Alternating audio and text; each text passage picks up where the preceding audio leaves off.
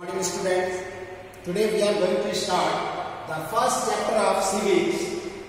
What is democracy? Why democracy?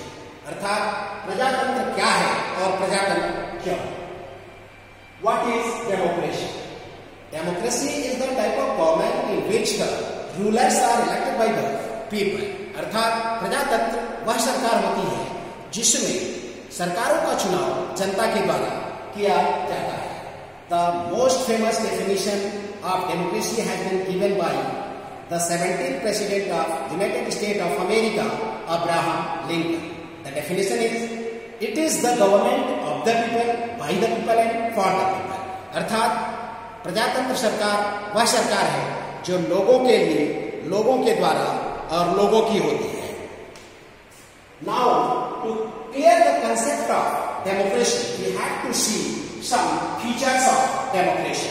The first feature of democracy is, in democracy, the final decision-making power must rest with those who are elected by people. अर्थात प्रजातांत्रिक सरकारों में final decision making power यानी अंतिम निर्णय लेने की शक्ति अर्थात कानून बनाने की शक्ति उन लोगों के हाथों में होती है जो जनता के द्वारा चुने जाते हैं the next feature of democracy is, in democracy, each adult citizen must have one vote and each vote must have same value. अर्थात प्रजातांत्रिक देशों में प्रत्येक एडल्ट सिटीजन प्रत्येक वयस्क नागरिक जिसकी उम्र 18 साल होती है, उसके पास एक वोट देने का अधिकार होता है और उस एक वोट का वैल्यू सेम होता है।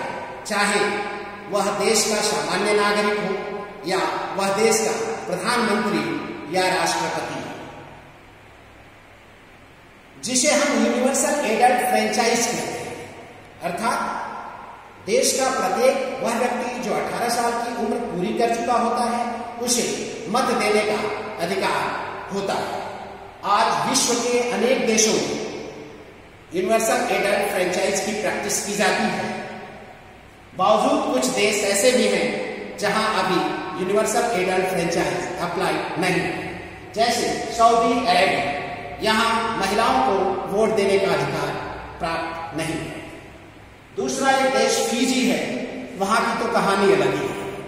वहाँ जो फीजी के बेसिक रेजिडेंट है, उनके वोट का कीमत, उनके वोट का कास्ट वन होता है, जबकि वे लोग जो बाहर से आकर फीजी में बसे हुए हैं, उनके वोट का कीमत वन अपॉइंट टू अर्थात आधा now the next feature of democracy is a democracy must be based on free and fair election and people have their best choice अर्थात डेमोक्रेटिक सरकारों में, प्रजातांत्रिक सरकारों में फ्री एंड फेयर इलेक्शन यानी स्वतंत्र और साफ़ सुथरा चुनाव की व्यवस्था होनी चाहिए, जिसमें देश के नागरिक अपने लिए, अपने मनपसंद नेता का चुनाव कर सके, जो उनकी देखभाल अच्छे से now one more thing is very important to clear here that is real democracy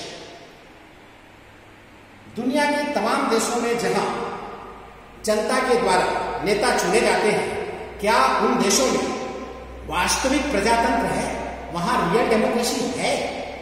इसको समझने के लिए हम एक उदाहरण लेते हैं। We are just just taking an example of our neighbour country Pakistan in this country also leaders are elected by the people but there is some difference between our country and that According to example, we are going to understand in 1999 there was a government which was elected by the people, and that government was headed by Mr. Nawaz Sharif. यानी वह सरकार नवाज़ शरीफ के द्वारा चलाई जा रही थी, जो जनता के द्वारा चुनी गई सरकार थी लेकिन उन्नीस में वहाँ के आर्मी चीफ परवेज मुशर्रफ ने गलत तरीके से उस सरकार को थ्रोन आउट कर दिया, उस सरकार को गिरा दिया और 2002 में एक रेफरेंडम के माध्यम से रेफरेंडम अर्थात जिसको हम हिंदी में जनमत संग्रह कहते हैं, उस जन, जनमत संग्रह में गलत तरीकों का इस्तेमाल करके माल प्रैक्टिसेस करके उन्होंने रेफरेंडम पास किया।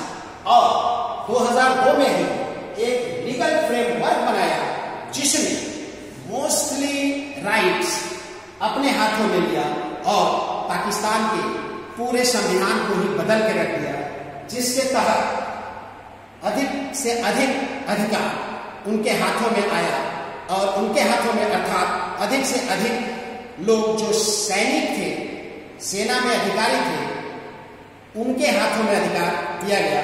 और इस तरह से हम कह सकते हैं कि प्रजातंत्र वास्तव में पाकिस्तान में नहीं है।